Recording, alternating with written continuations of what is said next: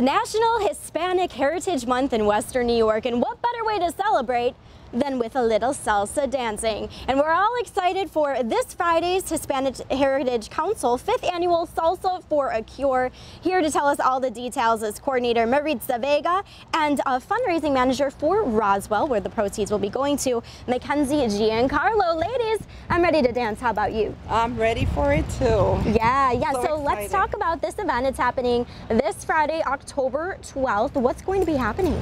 But we're to have the um, the Salsa for the Cure, which is an amateur dance competition um, where we're gonna um, also um, raise the funds for Roswell, which um, is gonna go to patient care services, mm -hmm. and 100% of the proceeds is gonna go to to the patient care services that we are really interested in helping that cause. Yes, Mackenzie, this is the fifth annual event, so they've been doing this for quite a few years now. The fundraiser has gotten bigger and better every year. How is this fundraiser going to make an impact with Roswell? Yeah, we're just so proud to have Salsa for a Cure back for their fifth year. They've raised over $12,000 um, for patient care services at Roswell. So that goes towards a lot of different things. We have our resource center, which provides free wigs for patients. Um, you know, even if they don't go to Roswell, they can come and get a wig. Um, it also provides information for families and patients. And then specifically, we have a bedside attendant um, program. So if you have a family member that, you know, needs to go take a nap, get a shower in, um, there's someone at your bedside 24 7 looking out for you. Yeah, it's amazing to think how many people can be impacted by this event. And this is a fun event. You don't have to be an experienced dancer.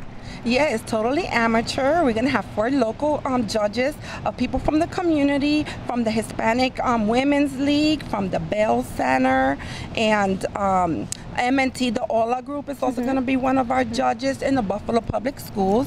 We are uh, collaborating with the um, Puerto Rican and Hispanic Day Parade and the Pucho Olivencia Center, along with um, performances from Baila Salsa and also Sarah Hakel and Jerome Williams. They're going to be performing. So it's definitely going to be a festive event. How can we sign up and be a part of all this? Well, you can buy um, tickets online on our website, the Hispanic Heritage Council, WNY.org. You can buy tickets there. I have tickets. My information is also on the web page, the Hispanic Heritage Council web page, and um, you can pay at the door. It's twenty-five dollars in advance, thirty at the door, and remember that 100% of the money collected is going to go straight to Roswell Park. Yeah, so it's all going back to such a wonderful cause. All you got to do is grab your little red dress and get ready to dance the night away. Again, where is this event happening? It's going to be at the Pucho Olivencia Center at 261 Swan Street, and it starts at 7 o'clock. We're also going to have a silent auction and also a shared a prize. Wonderful. Ladies, thank you so much. We are getting ready for this weekend. What better way to dance our way into the weekend? You think we can do a little salsa dancing? Little Come on, ladies. I know you can move. We're getting ready for the Hispanic Heritage Council's fifth annual Salsa for a Cure this Friday, October 12th. We'll see you there.